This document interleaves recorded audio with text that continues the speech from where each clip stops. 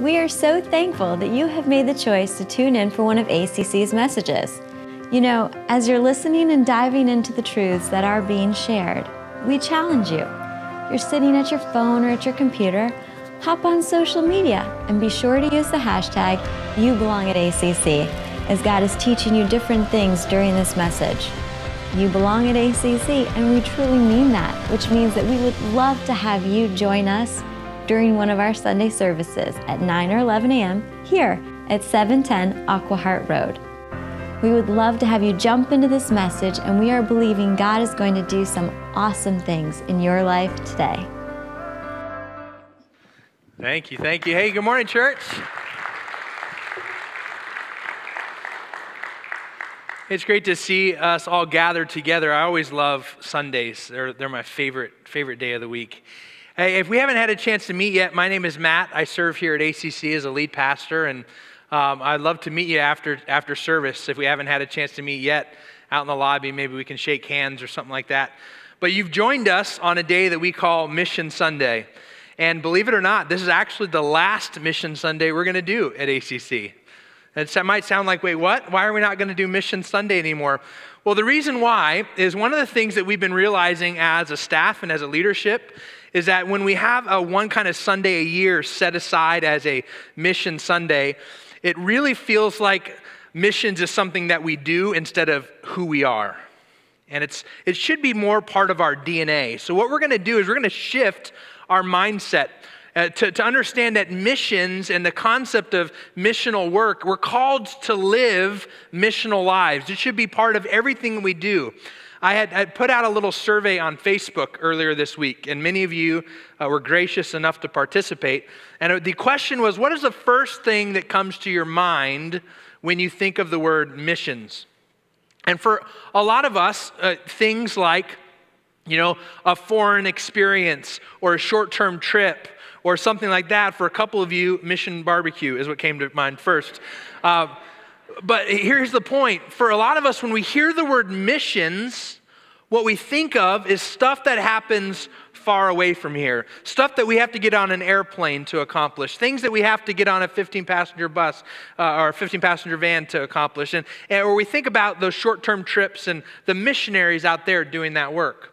And that's, that's good because that is all mission work. But at the end of the day, what we need to shift in our mindset as a church is that, like it says, mission shouldn't be something that we do, it should be who we are. We should all be living missional lives. It should be part of our, our DNA to recognize that when you walk out of these doors, you're entering the mission field. When you pull out of this parking lot, you're pulling out into the mission field.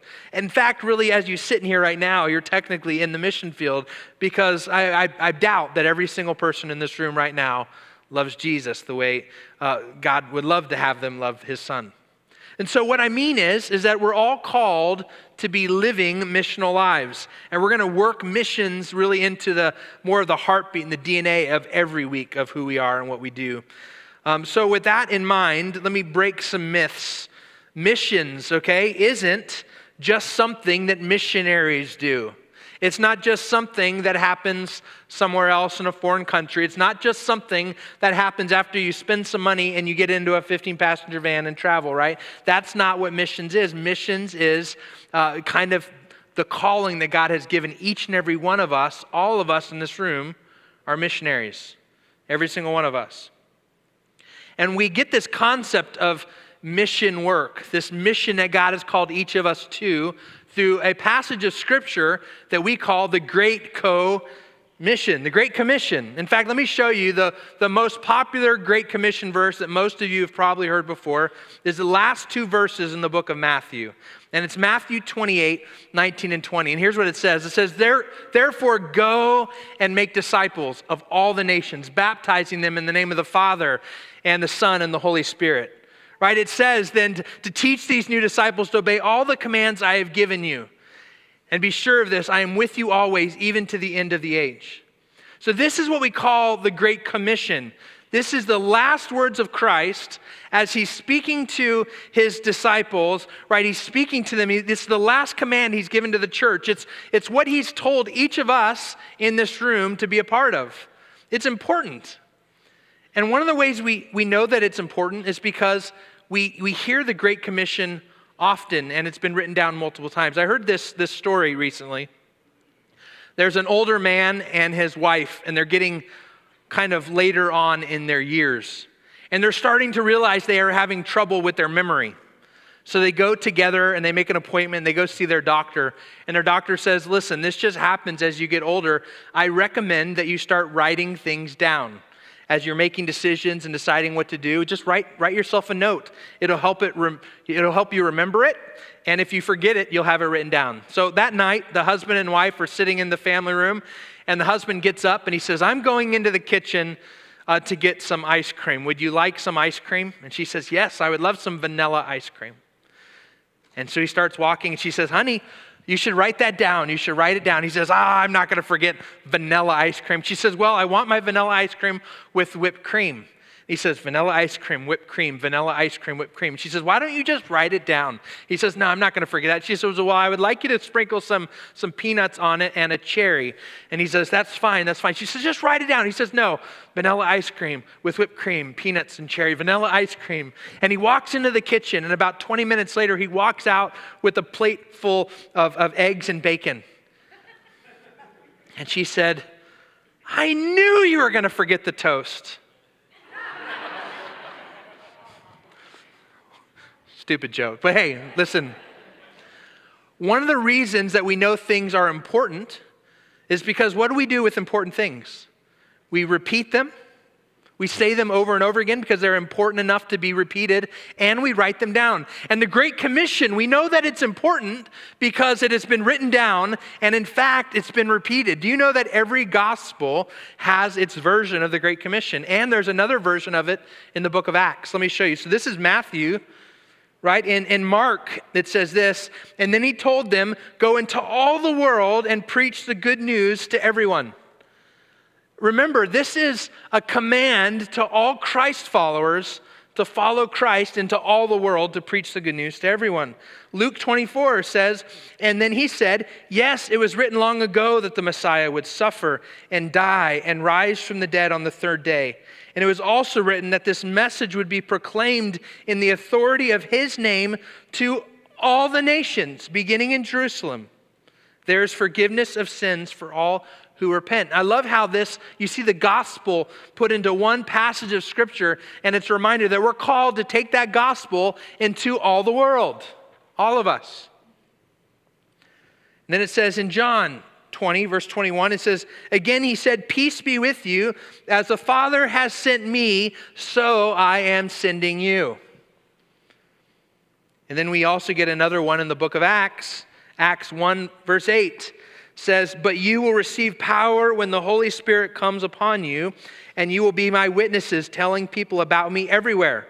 In Jerusalem, that's your local community throughout Judea, that's kind of like your, your, your region. In Samaria, that's the parts of, uh, that you don't really want to go to, the parts that you, you, you would rather avoid, and to the ends of the earth. We're called to take the gospel not just there, but here. We're called to take the gospel not just here and not just there, but everywhere in between. We're all called to go. In fact, if you're in this room and you call yourself a follower of Christ, well, then the last command of Christ, he tells you where to follow him to. He says, Take this good news and take it and go and take it to all the nations. In other words, every single one of us in this room, if you are a follower of Christ, you are a missionary. You can't get around it. I recognize that there are people who missionary is their job title. Like they get paid by a missions organization and they, maybe they have some special training to do something specific. But at the end of the day, every single one of us has been called to be part of this great commission. We're all called to do it, everyone is called to go. So if you have a copy of God's Word, I want to show you plainly in Scripture different ways that we can live this out. And if you have a, a your copy, go ahead and turn to 1 Peter if you don't have a copy of God's Word, I want you to have one. So grab the Bible from underneath the chair in front of you, write your name in it, and take it home with you. We'll put one back in that spot um, after you leave. We want you to own a Bible, all right? So, everyone in this room, take your copy now of God's Word and go to 1 Peter and hang out there. All of our passages today, except for one, are going to be out of 1 Peter. Here's why 1 Peter is important, by the way. 1 Peter is written to a group of Christ followers who are living in a context that is not comfortable. They're living as exiles. They're living in a culture and a world where Christianity is not widely accepted. Does that sound familiar, anybody? All right? They're living in a place where it's not the, the, the cool thing, it's not the, the, the, the, the right thing to be a follower of Christ. And that's where they're living. So, in that context, Peter is writing this group of people living in exile, and he's telling them here's how to do this thing called being, to, to, to live sent. You see that with me? Will you guys say that with me? Live sent. To say it one more time, louder than first service. Live sent. All of us in this room are called to live sent. Every element of our lives, all of our decisions, all of our actions, all of our words should be those of a missionary on mission because that's what we've been called to do. And First Peter shows a group of people living in exile how to pull this off. How do we live sent? In First Peter chapter 2, verse 9 says this, "But you are not like that, for you are a chosen people." Real fast, so I can make sure everyone in this room knows who this verse is about. If you're a follower of Christ, if right now you have, you're, you're sitting here and you know you've made a decision to make Jesus the Lord of your life, this verse is about you. Are you ready for this? It says, You are a chosen people, you are royal priests, a holy nation, God's very own possession. As a result, you can show others the goodness of God, for he called you out of the darkness and into his wonderful light. What Peter is saying is that you, who are a chosen people, you have the ability to, to show other people the goodness of God. In other words, you have the ability to live sent on mission. We're all called to tell people about the goodness of God, and we have the ability to show people the goodness of God just by the way we live our lives. So here's how we do it. Number one, if you're taking notes, Living sent means living differently. It means living differently. In other words, you should really stick out as a follower of Christ living in a broken world. Have you ever seen one of those movies or sitcoms where an alien is trying to fit in. They've taken on human form and they're trying to fit in in American culture. And, and what happened, the reason those are all funny, right, is because they have a really hard time fitting in. They say the wrong phrases, they use the wrong gestures, right? They, whatever they do, it just doesn't make, they look odd. You can tell that they're not from around here. That's how we're called to live as followers of Christ. We're called to live in such a way that when people look at our lives, they can say, Wow, you're not from around here. This must not be your home. This must not be your culture. Like, that you must be, home must be somewhere else for you. We're called to live differently, to stand out in that way. In fact, we're called to be weird. You know, one of the greatest compliments you could ever say to one of my kids is call them weird. When my kids come to me and say that someone called them weird, I'm like, man, that's awesome. That's great. That's actually one of the goals of, of my wife and I is to raise really weird kids. Not weird just to be weird. We don't want them just to be weird without purpose. We want them to stand out for the sake of Christ, that their friends see something different about them. I want you to be weird in your workplace. I want you to be the one who's like always happy and the one who handles trouble with grace and the one who doesn't fight back and, and try to climb the ladder over someone else's back the way everyone else does. I want you to be weird because living sent means living differently. It says in 1 Peter 2, verse 11 Dear friends, I want to warn you as temporary residents and foreigners. You hear what they're being called? Followers of Christ are being called basically alien residents. This isn't your home. This isn't where you're supposed to live forever. You're supposed to be a little bit weird in this context. It says to keep away from worldly desires that wage war against your very souls. Be careful to live properly among your unbelieving neighbors. Then, even if they accuse you of doing wrong, they will see your honorable behavior and they will give honor to God when He judges the world. You see, the simplest form of evangelism is what we just call lifestyle evangelism. You live so differently that people see the goodness of God through your life. And we live in a culture right now that really wants people, people want to stand out. I mean, you think about what the height of fashion is right now for young people. You take things that don't go together, you make the weirdest outfit you can, and you put it together, and somehow that's now like the fashion, right? Whatever you can do to stand out. So we, as followers of Christ, we got to stand out. We got, really got to stand out. We got to be super weird in the way we live our lives. And as you keep reading in 1 Peter, we don't have time to read it all, but I encourage you to read it at home.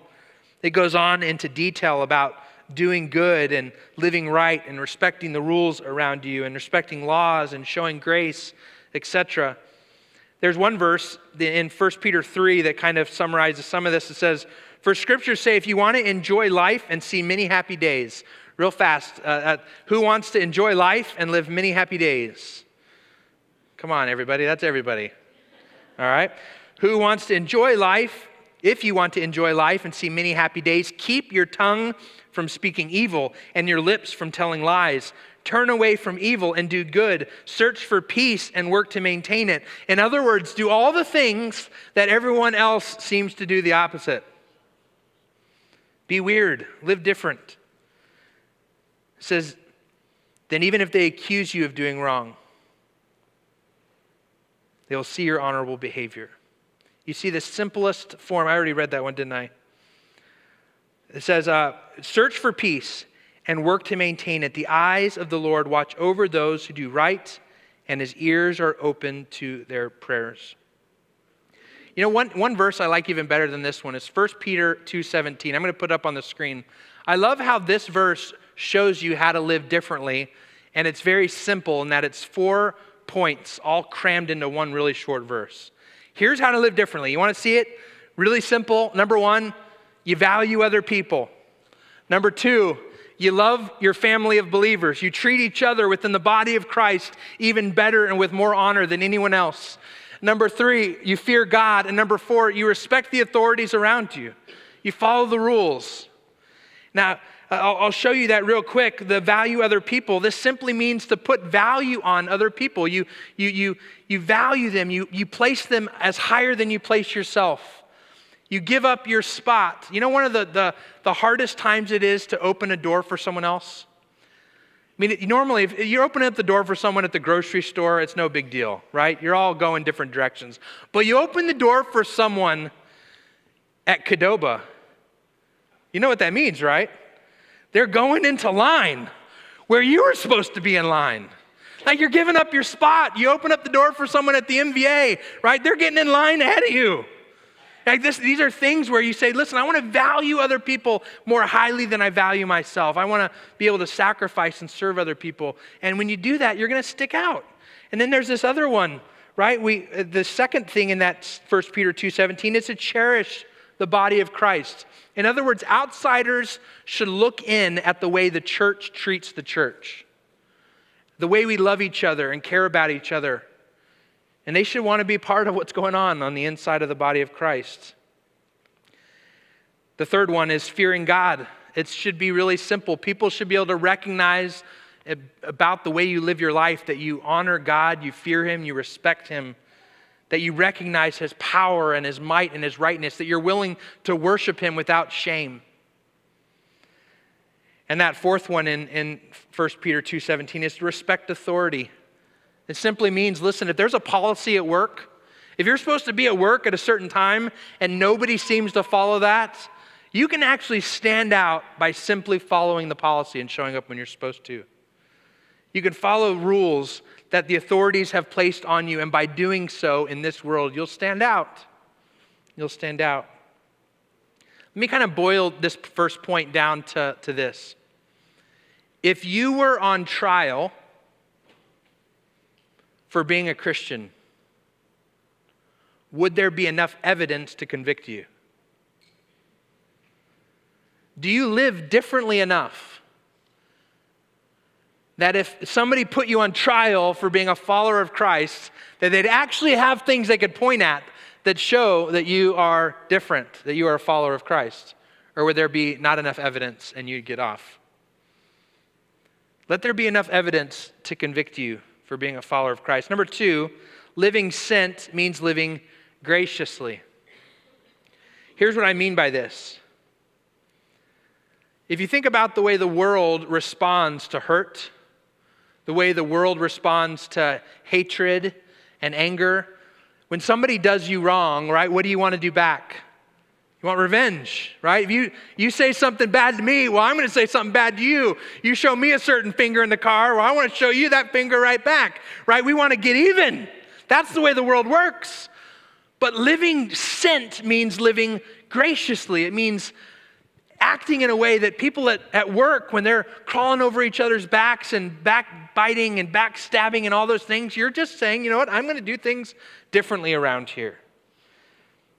1 Peter 2:21 says for God called you to do good even if it means suffering. Just as Christ suffered for you, he is your example, so you must follow in his steps. One of the best examples we have of what it means to live graciously is to allow someone to do something to you that you didn't earn or deserve and to show grace in return is clearly in the person of Jesus Christ who took on the cross for each one of us, not expecting anything in return. And then it goes on in 1 Peter to talk about living gracious lives in marriage. And then we get to 1 Peter 3 9. It says, Don't repay evil for evil. Don't retaliate with insults when people insult you. Instead, pay them back with a blessing. That is what God has called you to do. Think about that for a moment. God's word says that when someone insults you, the best way to get even is with a blessing. Just be honest for a moment. Will that cause you to stand out in this world? If you're blessing those who have hurt you, blessing those who have cursed you, you're saying, listen, I'm not going to retaliate. I'm not going to play this game. I'm just going to love you in return. That's what Jesus did for me. It's going to be weird. You know the result of these first two, right? When you live sent by living, uh, you know, graciously, and when you live sent by living differently, something is going to happen that you're going to notice will happen. And we see it in 1 Peter 3.15. I want you to look in your copy of God's Word, look at 1 Peter 3.15, it's the second part I really want you to focus on, but the first part says, Instead, you must worship Christ as Lord of your life. And then it says this And if someone asks you about your hope as a believer, always be ready to explain it. I, I love what this, this verse says.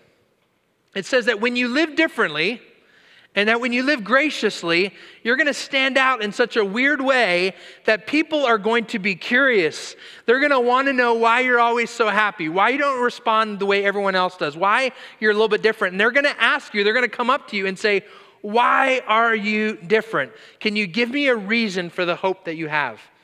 And the Bible says that in those moments of evangelism, we get to then share our faith. We get to say, Well, let me tell you why I act differently. It's because Jesus has changed my life. Let me tell you about Jesus.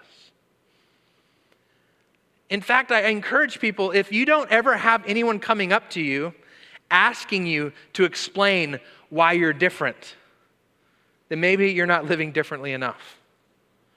If you don't live in such a way in your neighborhood where you're known as that house that just does things and loves people differently than everyone else, maybe you're not standing out the way God's calling you to. If in your workplace, in your family, around the Thanksgiving table, if you're not loving people, serving people, acting differently enough where people recognize it enough that they've got to know what the secret is. I want to encourage you to consider maybe you're not living differently enough or graciously enough. Here's a third thing living sent means living intentionally. Living sent means living intentionally. Here's what I mean by this being a missionary doesn't just happen on accident. You don't just find yourself in Honduras on a go adventure and think, where, how in the world did I get here? No, it takes some planning. It takes some rearranging of your calendar. It takes a talk with your boss. It takes some fundraising. It takes some work to be able to go on a go adventure. It doesn't happen on accident. You don't just find yourself across the street mowing your neighbor's lawn on accident. It takes some planning. It takes some thinking. It takes some strategy of how can I live with intentional, how can I intentionally be different? How can I intentionally be gracious? How can I serve people the way Jesus would intentionally? I, listen, I'm all about random acts of kindness. I get the whole concept of a random act of kindness. But wouldn't it be cool if we were living so intentionally that our lives were just acts of kindness after act of kindness? That we were just living lives of kindness? That that was part of our strategy. And at the end of the day, listen, God has created you and gifted you to do things better than anyone else. He's given you special gifts, and He gave those gifts for you to use in serving others. Let me show you this. In 1 Peter 4 10 and 11, it says, God has given each of you a gift from his great variety of spiritual gifts. And then it says this use them well to serve yourself. No? It doesn't say that at all, does it? It says, use them well to serve one another. The reason God has given you the gifts that He's given you is not so you can make much of your name. It's not so that you can make much of your bank account. It's not so you can make much of your Twitter following. It's not so He. Can, It's so that you can use those gifts to make much of Jesus. That's why He's given you those gifts to serve other people for the sake of fulfilling the Great Commission and building the kingdom of God.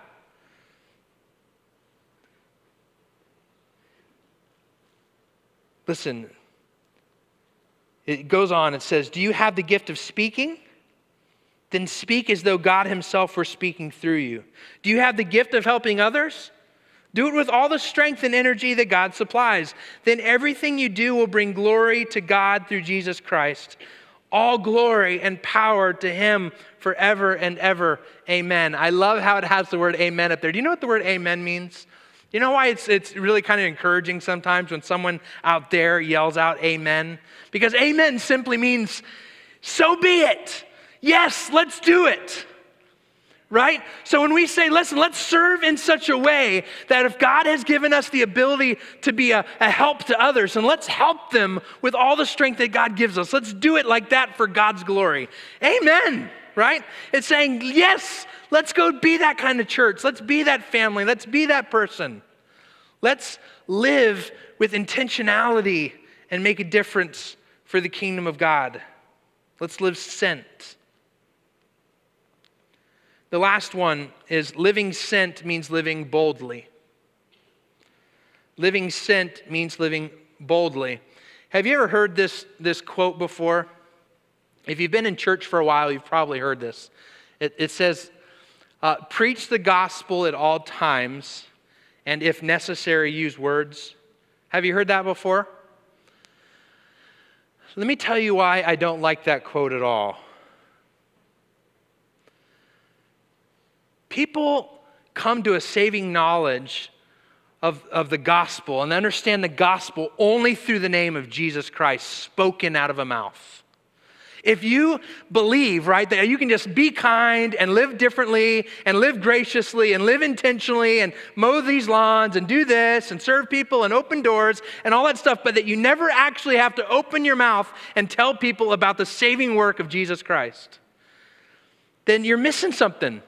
All of those other things are great. That's all lifestyle evangelism. But sometimes we get to this point where we cop out and we kind of get to this point where, well, I, I share about Jesus through my actions. That's great. But eventually, we've got to open our mouth and tell people about the good news of Jesus Christ. We've got to open our mouth and tell them about how Jesus has changed our life. Listen, certainly preach the gospel at all times. Certainly preach the gospel with your life. Certainly do all one, two, and three. But at the end of the day, living sin also means opening your mouth and living boldly. Telling people about Jesus without shame. 1 Peter 4 Verse 12 starts. It says, Dear friends, don't be surprised at the fiery troubles you are going through, as if something strange were happening to you. Instead, be very glad, for these trials make you partners with Christ in his suffering, so that you will have the wonderful joy of seeing his glory when it is revealed to all the world. And then verse 16 says, But it is no shame, no shame to suffer for being a Christian. Praise God for the privilege of being called by his name. You know, one of the things I've learned is that one of the, the main reasons that people don't open their mouth and tell people about Jesus is they're afraid of rejection. They're afraid to look weird in their workplace. They're afraid of what everyone will think about their, their home in the neighborhood. Oh, they're the weird, you know, Bible thumpers. They're the, you know, we're, we're afraid to, we're ashamed of the gospel. What Paul says in Romans 1 6, he says, For I am not ashamed of the good news about Christ. It is a power of God at work, saving everyone who believes, the Jew first and also the Gentile. Here's what I'm trying to say is that living sent does also mean living boldly. It's not being apologetic for the fact that Jesus has changed your life. In fact, you should have your life so radically changed that you can't wait to allow Jesus to change the lives of people you love around you.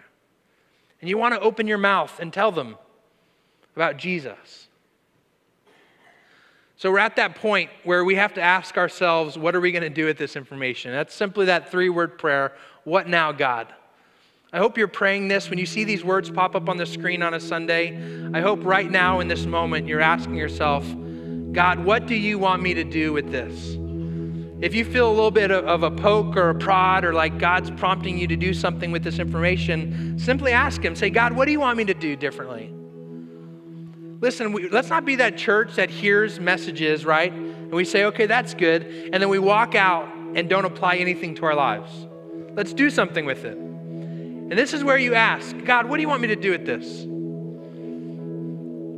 And I remember, living sent means living as a missionary wherever you go. It means living, it means going wherever you are. It means wherever God has placed you, that you're being intentional about being gospel oriented and fulfilling the Great Commission. So if God calls you to go on a short term mission trip, go.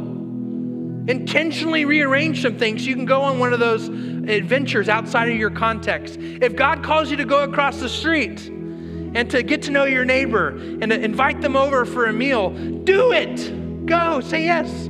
If God calls you, right, to walk a cubicle across from you and just tell someone, hey, I've been meaning to tell you about my church, do it.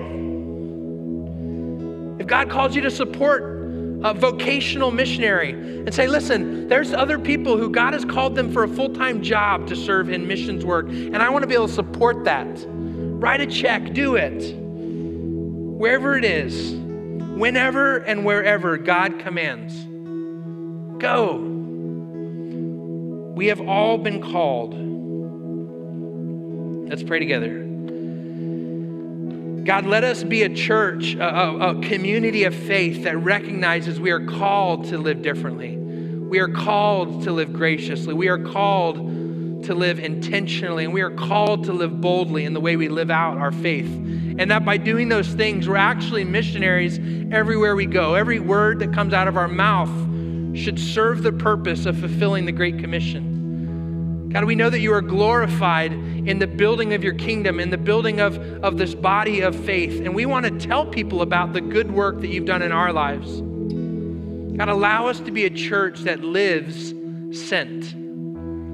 Allow us to leave this parking lot today and to recognize that as we cross that threshold onto Aquahart Road, that we are missionaries on a mission field. We love you and we pray this in Jesus' name. Amen. Well, we are so thankful for the truth that was shared in this message today. Please know that we, as a church, are praying that what you have learned today, the truths that God has put deep into your heart, will manifest themselves and grow themselves into something amazing. And as always, you can experience that with other believers. other people who are walking this walk of faith at ACC on Sunday mornings at 9 and 11 a.m. Please remember this you belong at ACC.